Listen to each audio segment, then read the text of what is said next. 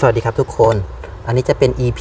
2 นะครับสำหรับการทำซองหนังนะครับ EP แรกก็คือได้ซองนี้มานะครับ กว่าจะได้ซองนี้มาลองไปดูนะ เจอปัญหาเยอะมากนะครับทำให้ดูเลยว่าเจอปัญหาอะไรนะครับผม แต่ว่าซองนี้ก็ยังไม่ประทับใจมากสักเท่าไหร่นะ เดี๋ยวจะลองลองอะไรก็คือว่า ผมเนี่ยมีความต้องการอยากจะให้ให้แผ่น PE ข้างในนี้ผมลองด้วยแผ่น PE นะครับ แผ่น PE นะ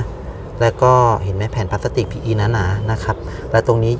ย้ำตาไก่เพื่อยึดระหว่างหนังกับแผ่น PE แล้วก็ช่วยในการระบายความชื้น ตรงนี้จะยังคงมีอยู่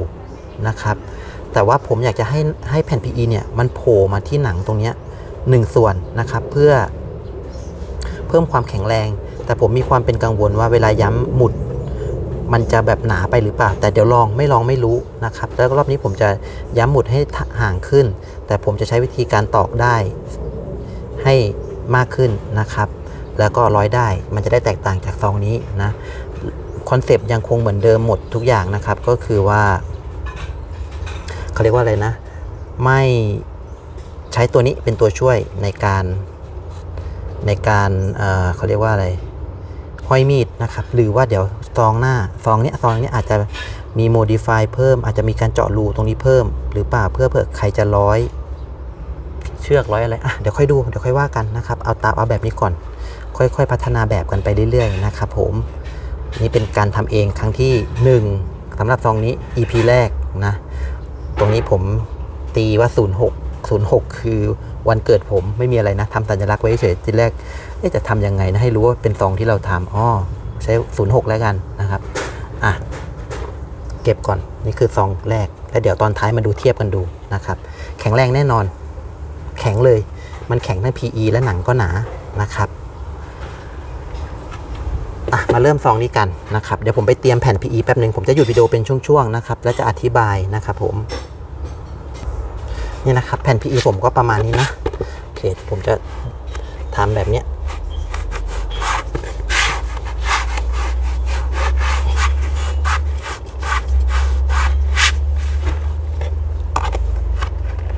ก็จะห่อแค่ประมาณ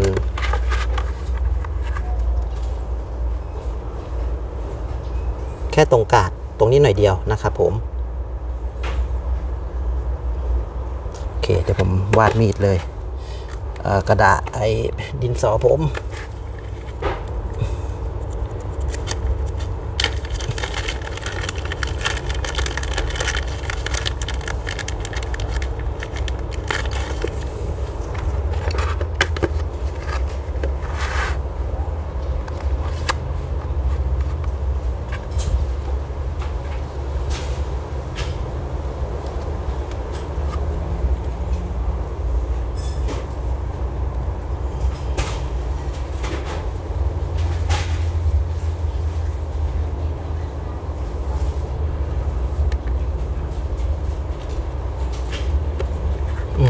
เนี่ยนะครับแค่นี้นะ ก็ ตัวช่วยนะครับ ก็คือที่เป่าลมร้อนอนะครับ ผมเป่าลมร้อนหน่อย มันจะได้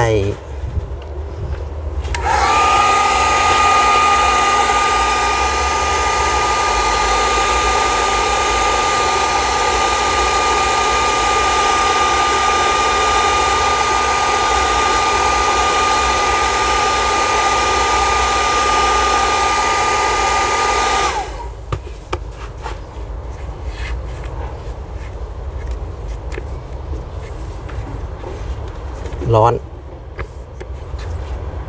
ก็ ไม่มีอะไรนะ ผมแค่จะให้มันอยู่นะครับ ไม่งั้นมันคืนตัว โอเคก็จะประมาณนี้นะ จริงๆมันมันก็จะหนีบก็ได้นะ แต่ผมไม่ไม่หนีบแล้วละขี้เกียจนะครับ ตรงนี้เดี๋ยวเป่าตรงนี้หน่อยแล้วให้เห็นกาดมีดนะครับ เวลาทำจะได้ไม่พลาด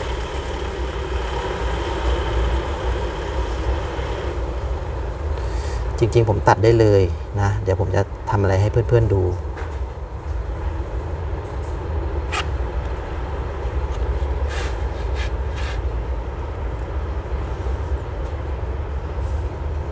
โอเค นะครับเอาต รงนี้หน่อยหนึ่ง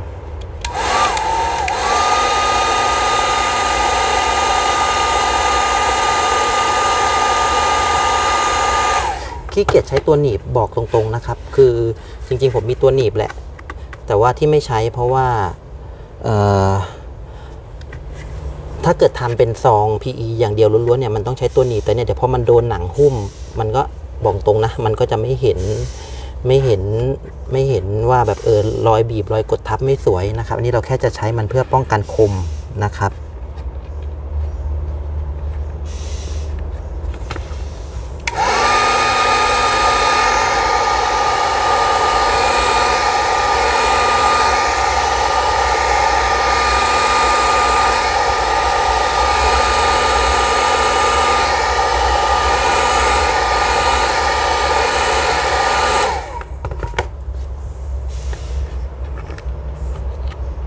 ไม่มีเลยนะ ผมก็บีบจับมันไว้ให้มันอยู่ในให้มันเห็นเห็นกาดเฉยๆนะนะครับโอเค ผมขอหยุดวิดีโอนะจะได้ไม่เสียเวลาจังสเต็ปนี้ก็คือทำแค่ประมาณนี้ นี่นะครับทุกคนผมแค่ใช้ลมร้อนเป่านะ แล้วผมก็เอามือนี่แหละจับมันนะครับ ให้มันเป็นรูปของมีดก็ประมาณนี้นะครับ โอเค มันก็จะอยู่ในซองหนังก็จะประมาณนี้นะนะครับโอเค เดี๋ยวไม่เป็นไร เดี๋ยวเราบีบ แล้วเดี๋ยวพอมันมีหนังมีอะไรมาหุ้ม มันก็จะแน่นหนานะครับ โอเคผมดูดิ้วมีดผมอยู่ประมาณไหน นี่อยู่ไกลเลยนะ ตอนนี้เห็นไหมครับ safety ผมเหลือเยอะเลย รวม 2 เซน ทีแรกเซนหนึ่งทีแรก5 5 0.5 เซน เจ๊งเซนหนึ่ง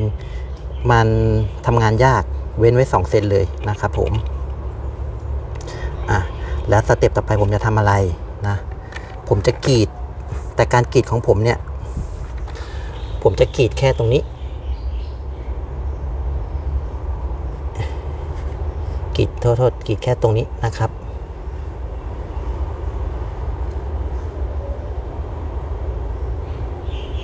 อืมจะเป็นแบบนี้นะจะกีดแบบนี้นะ นะครับ เดี๋ยวเดี๋ยววาดใหม่ อืม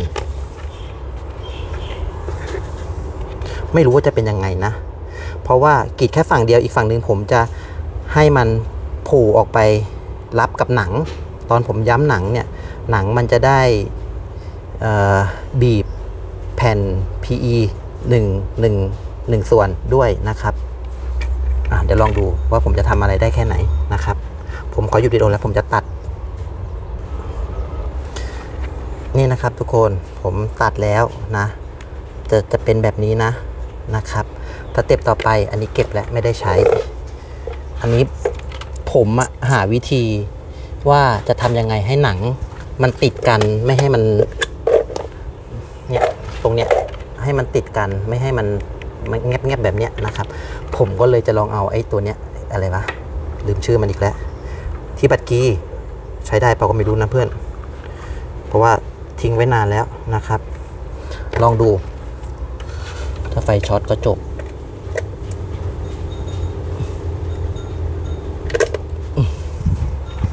ไฟติดไหม มันร้อนมากเลยนะ โอเคติด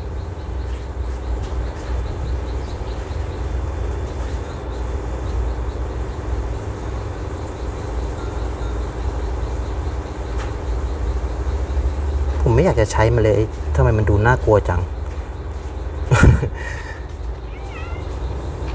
โอเคอะลองดู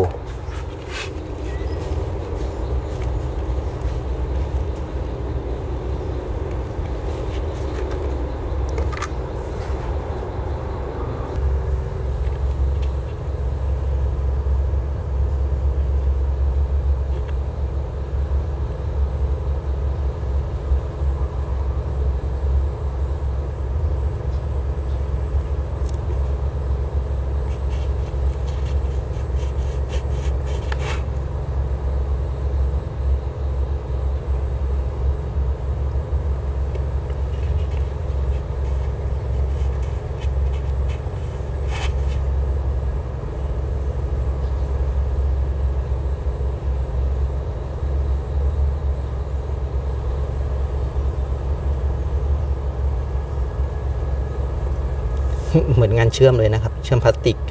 ไม่รู้มันมีอุปกรณ์อะไรที่ดีกว่านี้หรือเปล่านะ โอเค ถอดปลั๊กก่อนอึ๊บอะเสร็จสำหรับกระบวนการนี้ นี่นะครับ แค่นี้เลย อยู่แน่นอนแข็งปัง เดี๋ยวพอมันโดนหนังหุ้มเข้าไปอีกมันก็จะแข็งแรงขึ้นนะครับ แล้วเราก็ย้ำหมุดแล้วก็ยึดอ่าเขาเรียกว่าอะไรนะ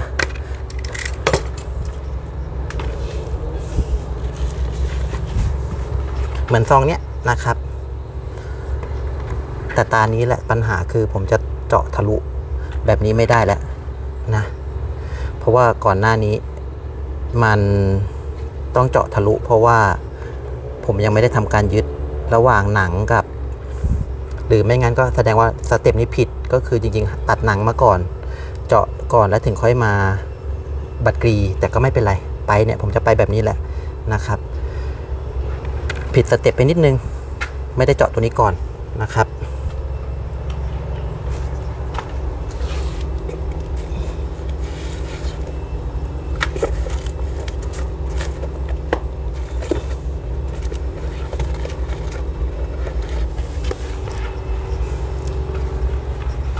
นี่นะครับผมหนัง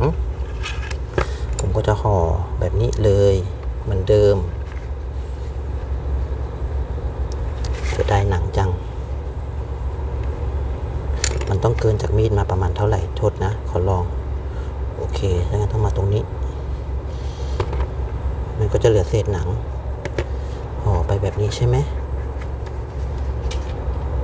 โคตรหนาเลยหนัง หนานะครับผม ของดีนะ ไม่ใช่ของไม่ดีนะครับ โอเค ตรงปลายไม่ได้ โอเค อย่าเสียได้ เดี๋ยวจะเสียของอีก เนี่ยผมทำของแล้วชอบเสียดาย เสียดายเสียดายหนังเสียดายอะไรอย่างเงี้ยครับ สรุปสุดท้ายทิ้งทิ้งทั้งแผ่นแทนที่จะทิ้งแค่ครึ่งเดียว โอเค อะเดี๋ยวผม ไม่มีอะไรนะ ผมจะวาดรูปซองหนัง เวลาตัดจะได้ไม่พลาด นี่คือพอดีกับซองใช่ไหม แล้วก็ ปื๊ดนี่นี่พลาดแล้วพลาดแล้วปึ๊บอืม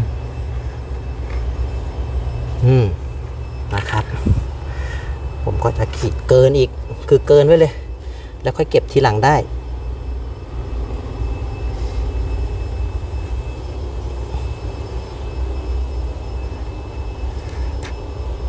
เกินมาแบบนี้เลยนะครับ ผมก็จะกรีดหนังแล้วนะ โอ้โทษที ออกนอกเฟรมเมื่อกี้แค่เอาอันนี้ทาบนะครับ แล้วก็วาด วันนี้ไวขึ้นไหมเมื่อวานทั้งวันเลย ได้แค่ซองเดียวนะครับ นี่แหละ ผมทำให้ดูข้อผิดพลาดแล้วจะได้ไม่เสียเวลาเหมือนผมนะ ผมกรีด กรีดทีเดียวให้ขาดไปเลยนะครับ เพื่อนๆ เพราะก่อนหน้านี้ผมกรีดแบบปัวคัตเตอร์จะเจ็บอะ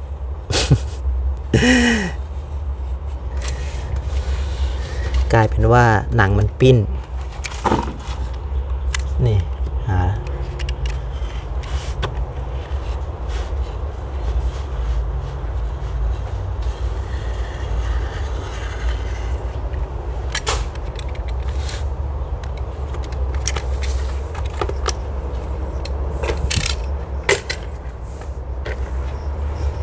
เนี่ยนะครับผมแล้วก็ห่อ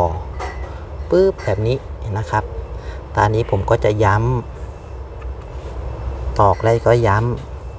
ำให้มันอยู่สเต็ปเดียว ระหว่างหนังกับ หนังกับหนังกับอะไร หนังกับ แผ่น PE นะครับ จริงๆ ก็แทบจะไม่ต้องจำเป็นเลยนะ เพราะว่าหนังผมหนามากนะ เห็นไหมครับ แต่ว่าผมเห็นของช่างบางคนอะเขาจะลองด้วยหนังตรงสันอีกทีหนึ่งนะแต่ผมไม่ลองนะครับ ผมจะใช้แผ่น PE นี่แหละเป็นตัวตรงกลางนะครับ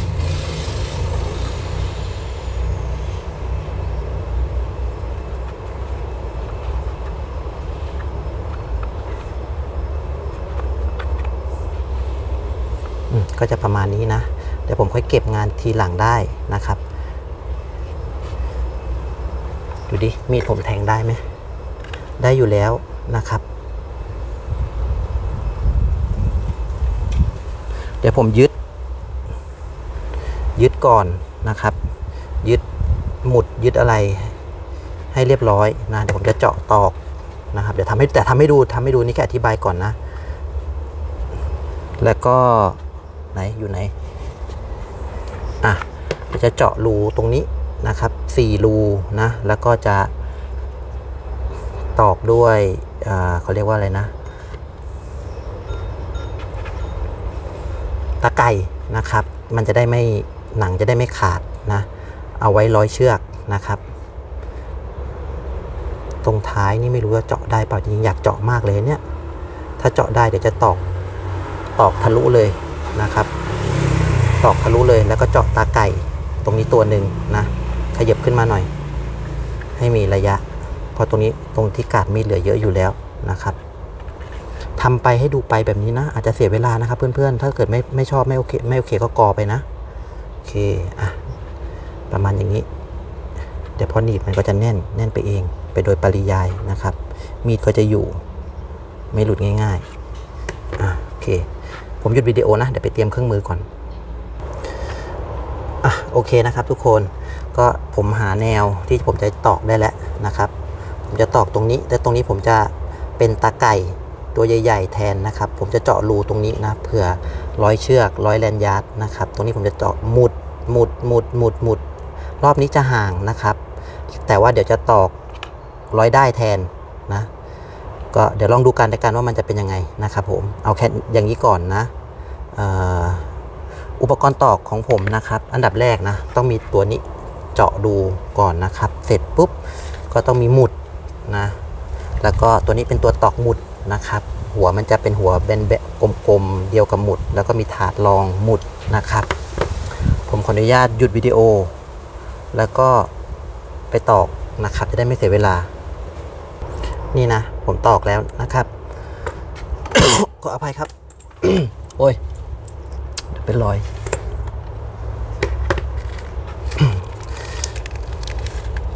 โอ เคอะแต่เดี๋ยวจะตอกหมุดเลย แทงเข้ามาอ่าได้อยู่นะครับ มันติดติดหนังด้วยนะ เอ้ยโทษติดแผ่น PE ด้วยนะครับ โอเคอย่างเงี้ยที่ผมต้องการนะแผ่น PE ได้แผ่น PE มาซีกหนึ่งถ้าจะให้ดีก็สองซีก แต่หมุดผมกลัวมันจะไม่ทะลุ เดี๋ยวไว้ทำครั้งต่อไปนะ แต่แค่นี้ผมว่ามันก็แข็งแรงแล้ว โอ้ ทะลุฮะ ก้านหมุดยังยาวอยู่นะครับ นี่นะเดี๋ยวผมตอกหมุดโดยใช้ถาดรองแบบนี้นะครับ และตัวนี้ก็ตอกปุ๊บนะครับ เดี๋ยวผมจะตอกเลย 1 2 3 4 จะได้ไม่เสียเวลานะ หยุดวิดีโอนะครับผม นี่นะครับผมก็ตอกหมุดแล้วนะ เดี๋ยวจะตอกตรงนี้จะตอกเป็นตาไก่นะครับ ตัวใหญ่ๆ ก็คือผมต้องเปลี่ยนหัวนี้ หัวนี้มันจะถอดเปลี่ยนได้เดี๋ยวไปเอาหัวก่อนเอ้ยอย่า เดี๋ยวหาย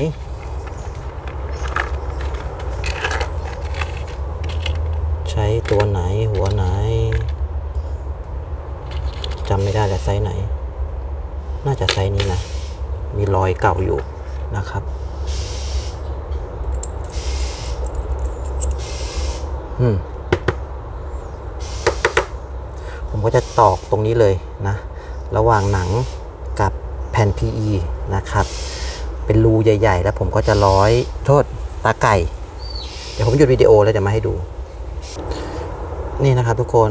แทงตาไก่ค่อนข้างยากนะ ตรงนี้จะเย็นๆหน่อยหนึ่งเลยนะเป็นไรเดี๋ยวขัดๆและทาสีได้ เพราะว่าหนังค่อนข้างหนานะครับ แล้วเวลาผมเจาะตอกไปเนี่ย หนังมันทะลุตามรูที่เราตอกก็จริงไปไหนแล้วไอ้ตัวตอกนะครับ แต่พอสักพักมันจะหด มันจะหดไหมรูมันจะเล็กลงอะนะครับ ก็เลยแบบ ต้องทะลวงแล้วก็รีบใส่อะไรอย่างเงี้ยนะครับก็เลยจะยากนิดนึงโอเคนะเดี๋ยวผมจะตอกนะครับโอเคหยุดก่อนนะ นี่นะครับผมตอกแล้วแต่สิ่งมือการตอกไม่ได้เรื่องไม่อยากแกะแกะแล้วเดี๋ยวจะเสียของนะครับ แตกอีกคือเวลาผมวางถาดรองอะตรงส่วนโค้งตรงนี้มันไปดันกระถาดอย่างเงี้ยนะครับผมมันเลยทำให้มันไม่ลงล็อกโค้งตรงนี้พอดีนะ มันเลยตอกยากนะครับ โอเค วิธีนี้อาจจะไม่เหมาะเดี๋ยวไว้วันหลังค่อยว่ากันนะ แต่แก้ปัญหาได้ไม่มีปัญหานะครับ เดี๋ยวจะเย็บเย็บเดินได้ มันก็จะแน่นไปอีกนะครับ โอเค เดี๋ยวผมจะตัดแต่งแล้วผมขออนุญาตหยุดวิดีโอนะ จะเอากล้องหลบด้วยนะครับ จะได้ตัดแต่งได้สะดวก เก็บเครื่องมือบางชิ้นด้วยที่ไม่ไม่ใช้แล้วนะครับ นี่นะครับทุกคน แต่งแล้วเรียบร้อยนะครับ เดี๋ยวผมจะตอกตอกอะไร เก็บไปซะละอึ๊บอืม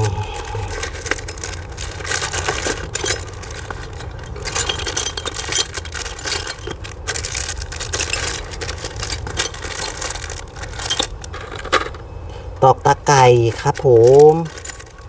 ตัวตอกอยู่ไหนจุดนี้ โอเค ตอกตาไก่ แล้วก็ตอกร้อยได้ตอกผมไปไหนอีกตัวหนึ่งล่ะอ๋ออยู่นี่ผมกำลังจะคิด ผมกำลังคิดว่าผมจะตอกสี่สี่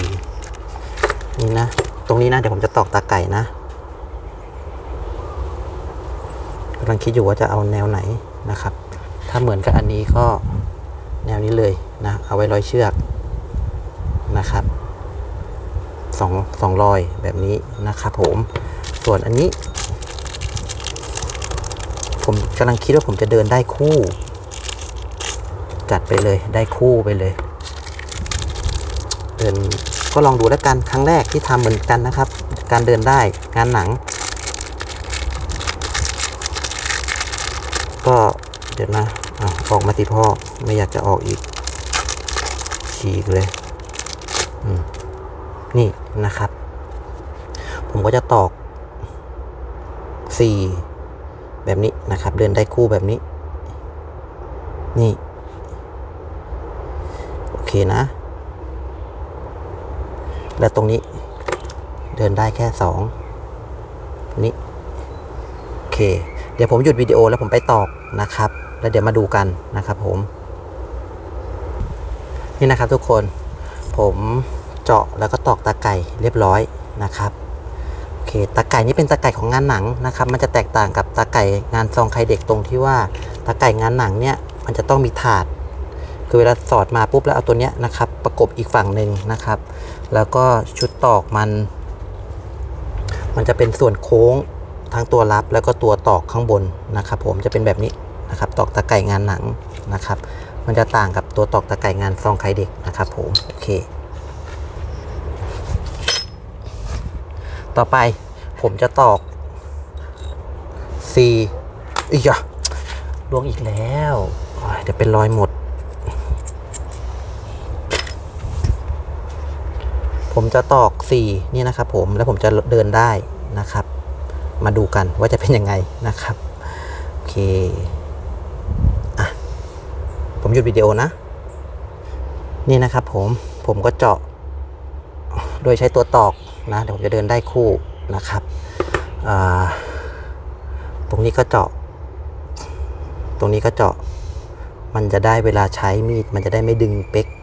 หมุดหลุดนะครับ มันก็น่าจะแข็งแรงเลยนะแบบนี้นะครับอะมาดูกัน นี่นะครับทุกคนไหนอยู่ไหนได้อยู่ไหนนี่นะครับ ผมก็เดินได้แบบสองแถวนะครับ ร้อยไปร้อยมาร้อยมาร้อยไปนะครับ บางช่วงจะเป็นสองทบนะครับ เพื่อไม่ให้มีการกระโดดข้ามของช่องนะครับ ผม บางช่วงจะเป็นแค่ทบเดียวนะครับ เห็นไหมบางช่วงจะเป็นได้สองเส้น บางช่วงจะเป็นได้เส้นเดียว ที่เป็นได้สองเส้น เพราะว่าผมไม่อยากกระโดดข้ามช่องนะครับ ให้มันแบบเออลงต่อกันทุกช่องทุกช่องนะครับ คือวิชาเลยนะตอนสมัยเรียนประถม มีวิชาสอนเย็บผ้าเนี่ยคือผมก็ใช้วิชานั้นแหละ แล้วก็มาผูกแล้วก็เผาลนไฟนะครับ ให้มันติดได้ที่ใช้นะ เออให้ดูอึ๊บนี่นะครับ ก็เป็นได้แล้วก็เข็มงานหนังนี่แหละนะหนาหนาๆใหญ่ๆนะครับ เส้นเส้นเบลเริ่มเลยนะเห็นนะครับ เดี๋ยวผมจะ ทำจนเสร็จเลยนะ แล้วเดี๋ยวให้ดูทีเดียวแล้วนะครับผม เดี๋ยวขออนุญาตไปพักก่อน เพราะว่านานแล้วนะครับ นี่นะครับทุกคนก็เสร็จแล้วเดินได้นะครับผมคือผมเอาไปให้แฟนดูนะภรรยาดูนะภรรยาบอกว่าผมทำผิดวิธีการเดินได้ของงานหนังเนี่ยมันจะมีวิธีอยู่ นะครับ แล้วการผูกการลนไฟเนี่ยมันจะมีอุปกรณ์มีเครื่องไม้เครื่องมือผม ก็เพิ่งรู้อ้าวหรอ ก็ไม่เป็นไรนะ เดี๋ยวผมจะต้องไปหาวิธีที่ถูกมาให้เพื่อนๆดู แต่นี่คือสิ่งที่ผมทำเสร็จแล้วนะครับผมตรงนี้จุดประสงค์ของมันนะ ผมเอาไว้ป้องกันไม่ให้ ไม่ให้มีดไปถูกับตาไก่แล้วเป็นรอยที่ด้ามนะครับผม ส่วนเชือกร้อยเพื่อที่จะ เอาไว้เอาไว้เขาเรียกอะไรนะ เอาไว้คล้องมีดนะอาจจะใช้เศษหนังที่เหลือเนี่ยที่ผมผูกเนี่ยนะมามาทำตรงนี้เดี๋ยวค่อยดูนะ เดี๋ยวผมไปขอทาสีก่อนนะครับ ทาสีสีย้อม สีน้ำตาลแก่นะนี่นะครับผมสีน้ำตาลแก่นะ เดี๋ยวผมขออนุญาตไปทาสีก่อนนะ แล้วเดี๋ยวมาให้ดูอีกทีหนึ่งโอเค ครึ่งชั่วโมงนะครับ ขนาดว่าหยุดแต่จริงๆเนี่ยทำเนี่ยครึ่งวันนะสองนี้นะครับผมก็เสร็จแล้วนะครับ ก็ประมาณนี้ย้อมสีนะครับ เดินได้สองแถวนะครับ แล้วก็ซองนี้ถามว่าประทับใจไหม เมื่อเปรียบเทียบกับซองแรกนะครับผมก็สิ่งที่แตกต่างจากซองแรกก็คือว่าถ้าเพื่อนๆดูตั้งแต่ต้นนะ จะเห็นว่าตรงกลางนี้นะครับเป็นแผ่น PE นะครับผม ป้องกันคมนะครับ มาจนถึงแค่ช่วงคมมีดนะครับ แต่ว่าซองเนี้ยสิ่งที่ผมยังพลาดอยู่ยังไม่โอเคก็คือว่าผมลืมเจาะตรงนี้เพื่อระบายความชื้นในซองนะ ก็ไม่เป็นไรนะครับ ก็โอเค เอาไว้ซองหน้านะก็เสร็จแล้วนะครับสองซองสองคลิปนะ EP 1 กับ EP 2 ก็พัฒนาไปเรื่อยนะครับ ก็หุ้มสุดเลยแบบนี้เลยนะครับผม ก็เน้นความปลอดภัยนะ เราไม่ได้ชักไวอะไรอย่างนี้นอยู่แล้วนะครับ เน้นความปลอดภัยแล้วก็ไม่หลุดง่ายๆนะครับผม แล้วก็ข้างในนะก็มีแผ่น PE แข็งๆนะครับไม่รู้มองเห็นไหมเนี่ยนะครับ ขอให้ดูนะนะครับก็เพื่อความปลอดภัยของมีดนะครับ เสร็จแล้วสองซองนะครับ ก็จบเลยนะครับ เหนื่อยขอบคุณเพื่อนๆนะ ที่ติดตามรับชมช่องมีดและขวานนะครับ ถ้าใครชอบคลิปทำซองมีดของผมก็กดไลค์กดแชร์ให้ผมด้วยนะ เป็นกำลังใจให้ผมด้วยนะ ถ้าเจอวิธีไหนที่มันผิดก็คอมเมนต์มาบอกนะครับสำหรับคนที่เป็นช่างแล้วทำเป็นนะครับ ผมนี่เป็นการซองที่สองนะครับปรับปรุงไปเรื่อยนะครับ ขอบคุณมากครับ สวัสดีครับ